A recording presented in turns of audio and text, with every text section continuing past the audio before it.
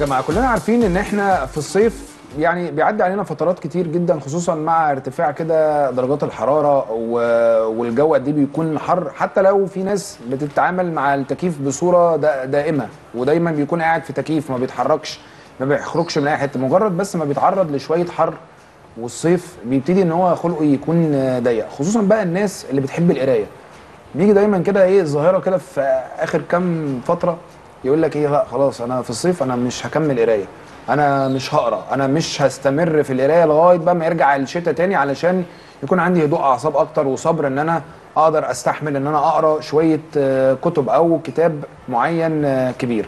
طيب بعد الظاهرة دي إحنا فكرنا. قلنا لأ إحنا لا لازم نجيب حد متخصص معانا في الموضوع ده يبسط لنا الأمور دي ونتكلم في الفقرة دي عن الناس اللي بتحب القراية فعلا وإزاي إن إحنا نقدر نساعدهم إن هم يستمروا في القراية في الصيف مشرفنا النهارده طبعا ال book ال book tuber عمرو المعداوي هنعرف منه كل التفاصيل وأهم الكتب اللي ممكن تتقري في فصل الصيف ازيك يا عمرو ازيك إيه الأخبار؟ عامل إيه؟ الحمد لله تمام. منورنا يا عمرو. ده نورك ربنا إيه الأخبار. يا عمرو تمام زي الفل مية الحمد مية؟ لله. تمام صيفت لا لسه ليه خلاص يعني. العيد بقى قلنا ماشي، حركات يعني. العيد كده قول لي يا عمرو فعلا الموضوع بيفرق يعني زي كده إيه ما شريف قال من شوية إن الواحد لو بيحب القراية هل بتختلف ال- المواسم في الموضوع ده يعني الصيف عن الشتاء والناس ممكن يعني تنفر شوية من القراية في الصيف ولا لأ؟ بالعكس دي حاجة كويسة إنك ممكن تقرأ كتير من خلال فصل الصيف.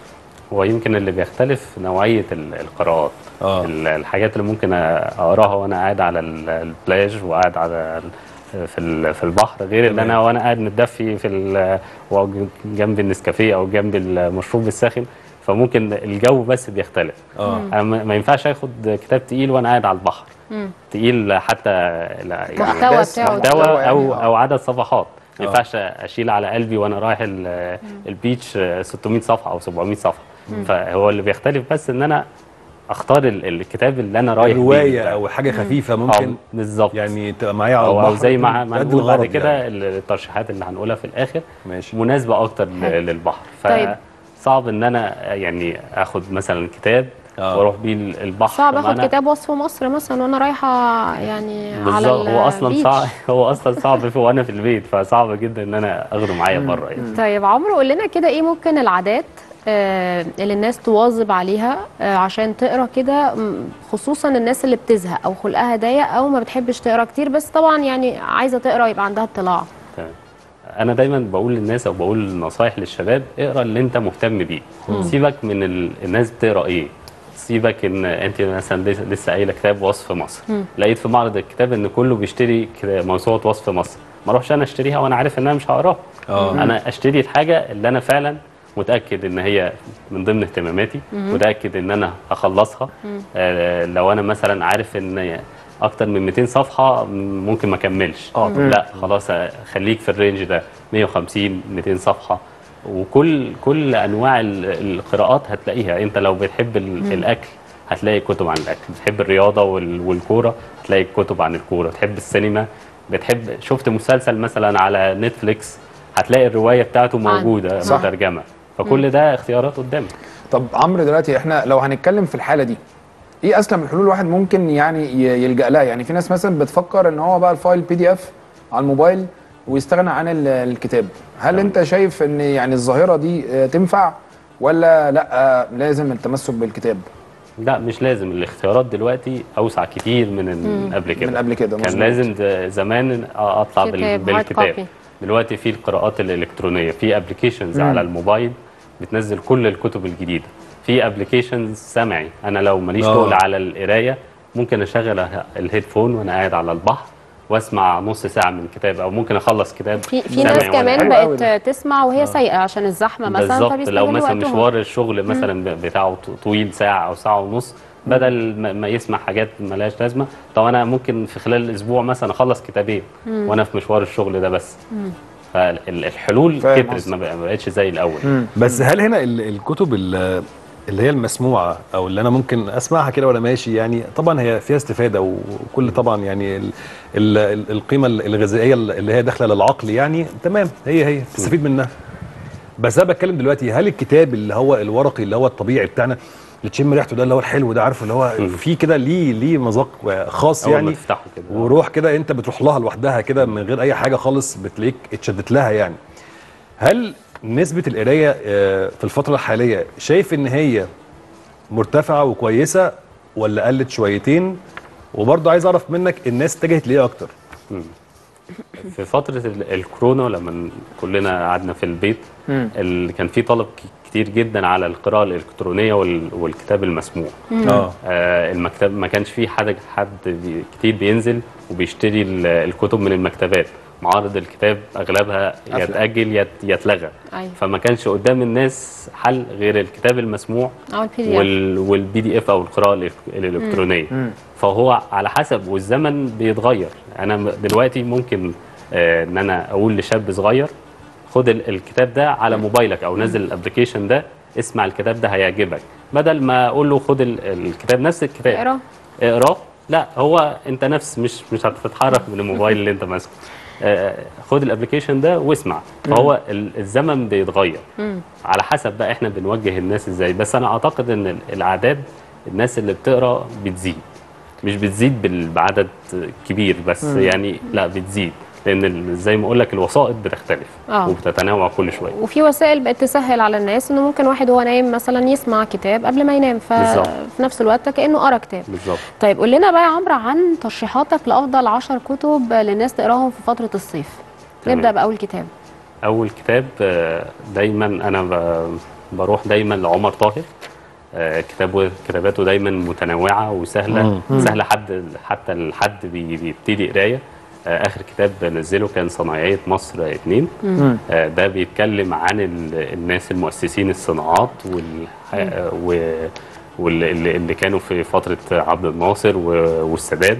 يعني مثلا بيتكلم عن آه، صاحب فكرة السيارة رمسيس. آه، ال- الصناعة المصرية. الصناعة المصرية اللي دخل صناعة الشيبسي في في مصر أو البطاطس المقلية في مصر. بنعرض الكتب أهو. أنت بتكمل آه، كلامك بالظبط. معانا على الشاشة. وفيها آه، معلومات للناس آه كمان طبعا. آه كتاب تاريخي ممتع جدا وهو باذل فيه مجهود هو مش مجرد هو مش ناقل من وثائق هو قابل ناس أولاد ال- ال- الصناع دول بنفسه واستقى منهم المعلومات وكتابها وطبعا بأسلوب عمر طاهر ال- الجميل بيعرضه. يعني مثلا بي- بيعرض كمان اللي أنشأ آه، مدينة المهندسين أو منطقة المهندسين.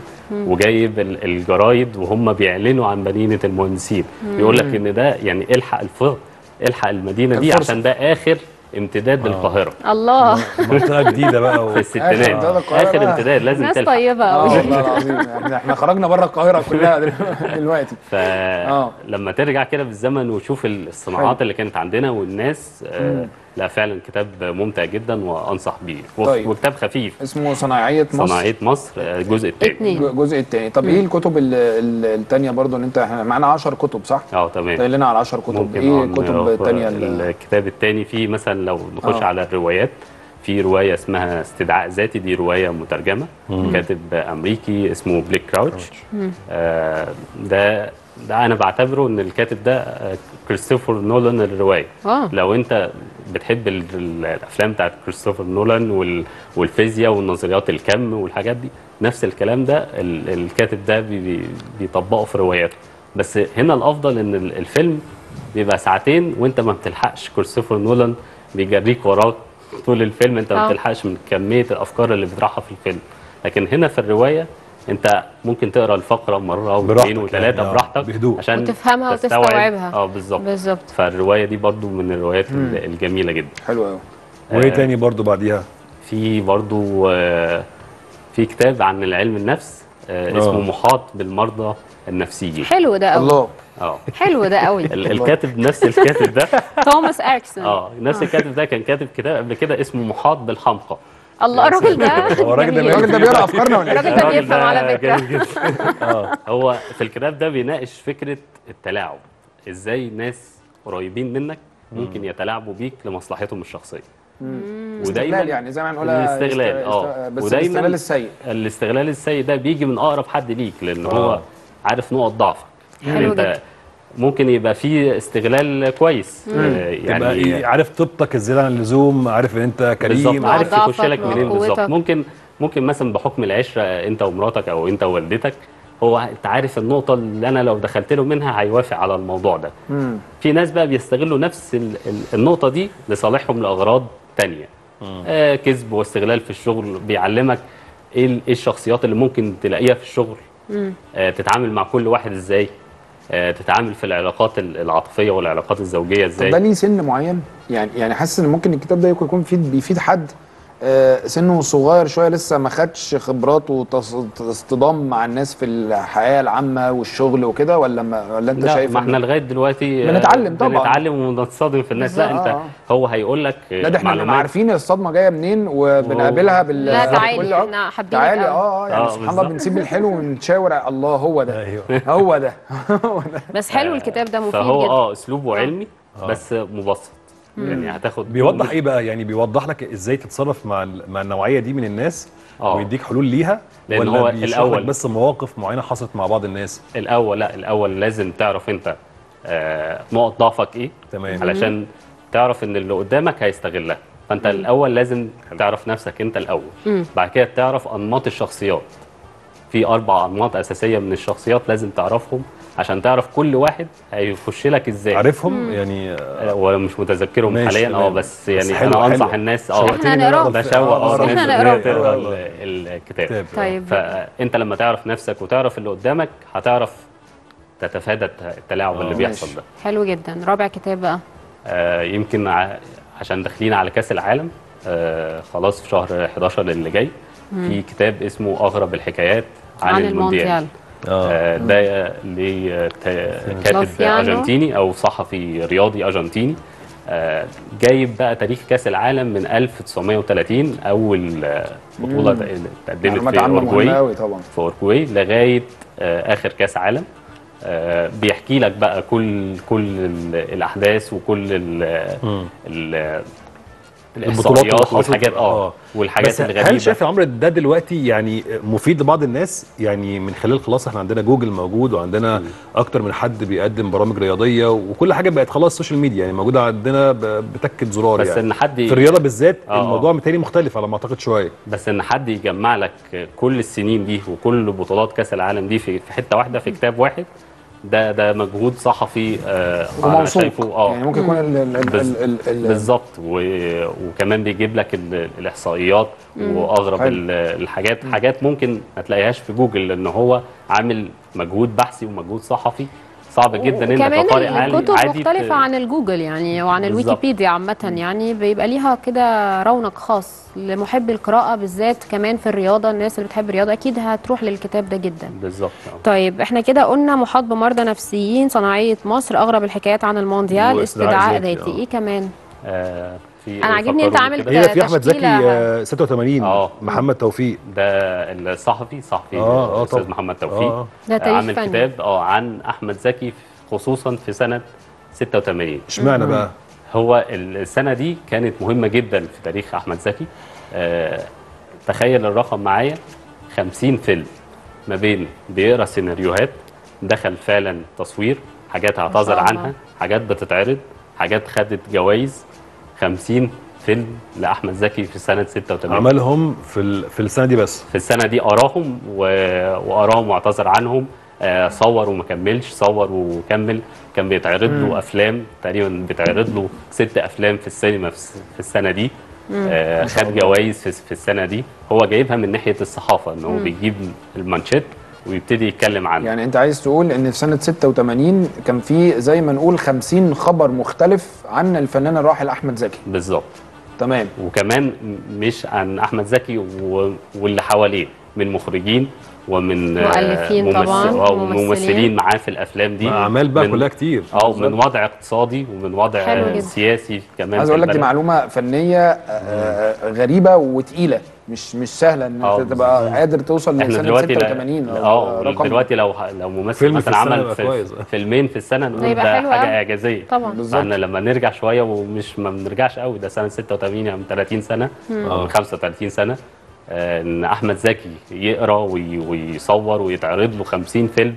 التكنولوجيا ما آه، كانتش زي دلوقتي رقم كمان. آه، رهيب صح. جدا يعني. طيب في طبعاً. كتاب لفت نظري اسمه رحلاتي مع أوبر. تمام. آه إيه؟ ده ده آه، بيتكلم عن إيه؟ مهندس مصري فادي زويل. آه مهندس مصري شغال في أمريكا آه فترة الكورونا كان بيتطلب منه إن هو يسافر كتير جدا بره أمريكا وجوه الولايات في أمريكا فهو كانت ال- الوسيلة اللي هو دايما بيطلبها أوبر آه، راح باريس وراح برلين وراح ونزل القاهرة وراح اسكندرية آه. وولايات مختلفة في أمريكا وطلع على. كندا كل آه، يعني هو هو أصلا كاتب كاتب روايات.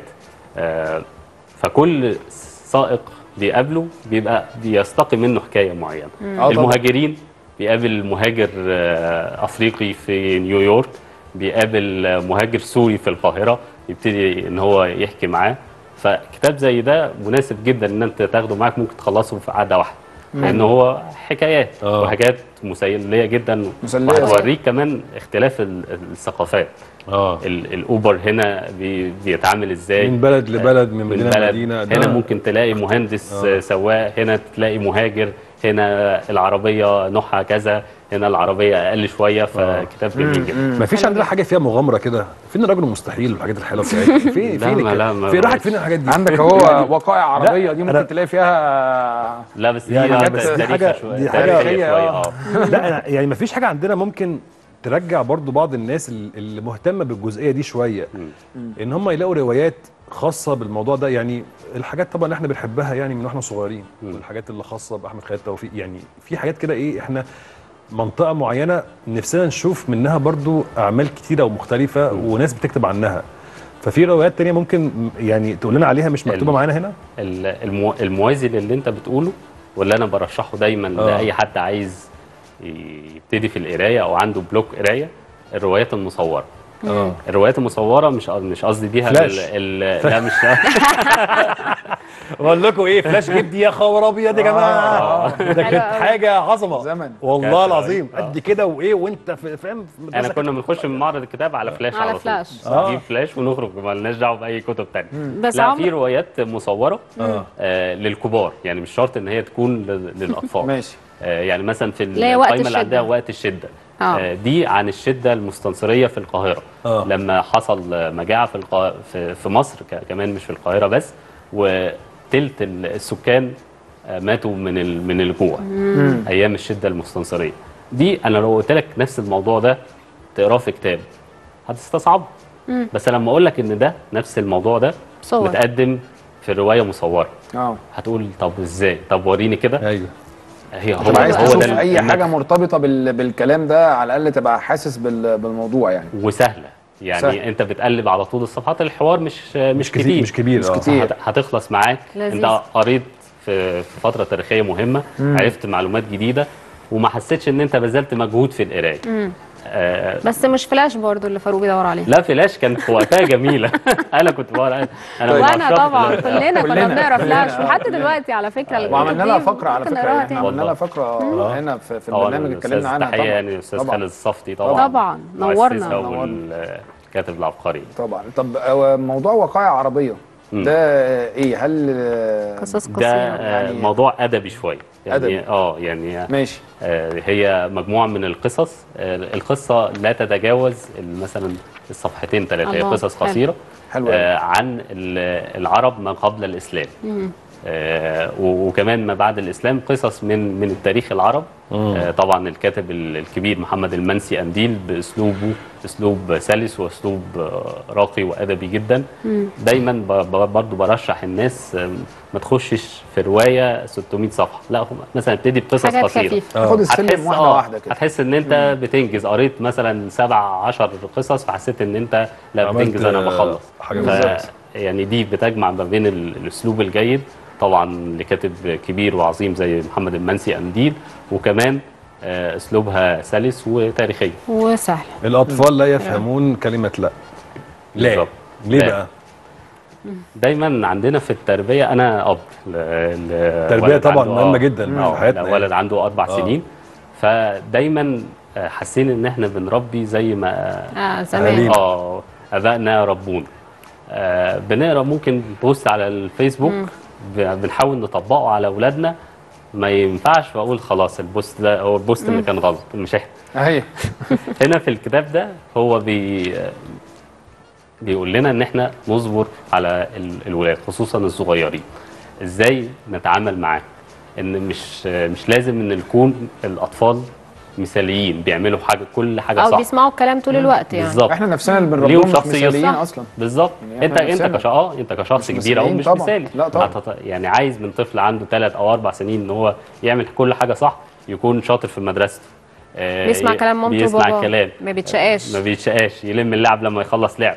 وياكل على طول. ما يعيطش ما يصورش مفيش كل ده, الكلام ده. آه، يعني تطلب الكمال ده المفروض ال- الأب والأم لا يسعوا ليه. اطلاقا. كمان الأطفال بحس إن هم بيعندوا لما الأب أو الأم تقول له لأ بيعند ويعمل العكس بالظبط. لأنه مش بيبقى فاهم هو لأ ليه هنا في ال- في. الكتاب ده في في تمارين عملية آه، إزاي نتناقش مع مع الطفل يعمل اللي أنا عايزه وما اخشش في حتة ال- الجدال دي ما اخشش ما احطش مسايسة نفسي في أكتر يعني آه يعني نتجنب كلمة. الممنوع. مرغوب من يعني الآخر. مثلا أنا بنصح الصراحه أي أم إن هي تبتدي ان هي تقرأ في ال- في الكتاب ده وكتب التربية عموما هيحس وبرده ما يزهقوش ما ياخدوش تمرين ويطبقوه ما يلاقيهوش ماشي لا الكتاب عارف انت أنت أيوة. فكرتني غلط. فكرني فكرني بحاجة أنا بقيت أشوفها مؤخرا إن في بقت أبهات وأمهات يعني الجيل الحديث شوية اللي اتجوز وخلف لا بيتكلم إن هو مثلا بيعيط إحنا زمان كنا مرتبطين لما بسمع بيبي عندنا في العيلة بيعيط بنجري عليه نشوف فيه أيوة. إيه أو لو وقع مم. بتديله اهتمام فبيعيط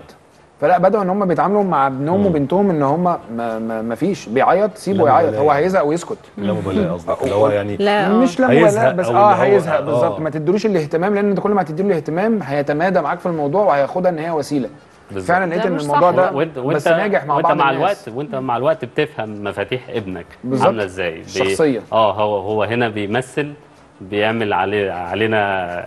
التلاعب اللي إحنا أيوة، كنا لسه حتة كده. بنتكلم عليها ولا فعلا في مشكلة حقيقية بالمناسبة يعني سارة نجار طبعا كل التحية ليها كانت منورانا في حلقة من حلقات Inbox وكانت بتكلمنا فعلا عن مم. إزاي الآباء والأمهات يتعاملوا مع أولادهم وطرق التربية الصحيحة والسليمة للأطفال طيب آخر كتاب معانا إيه بقى؟ إيه تاني ناقص كده؟ معانا سحر. آه إيه الموضوع ده؟ لايف كوتش آه دي تنمية ذاتية دي. سيدة يابانية. آه. دي شغلتها أصلا. هي مستشاره ترتيب منازل. تروح للبيت مثلا بتاع فاروق تنمية ذاتية. إيه؟ تلاقيه منعكش تقعد معاه طبعا بجد والله؟ يعني. بمقابل آه؟ بالمقابل طبعا. عملها غدوة وفي شغل يعني يبقى أكل. ماشي آه. وتيجي تشوف إيه بقى يعني. بتاخد بالها من إيه؟ بتاخد بالها الحاجات اللي ملهاش لازمة اللي أنت عمرك الكراكيب يعني؟ الكراكيب. الكراكيب بس إزاي تتخلص من الكراكيب لأنه. ده هو طلع دي لو جت مصر هتقدم استقالتها في المهنة دي.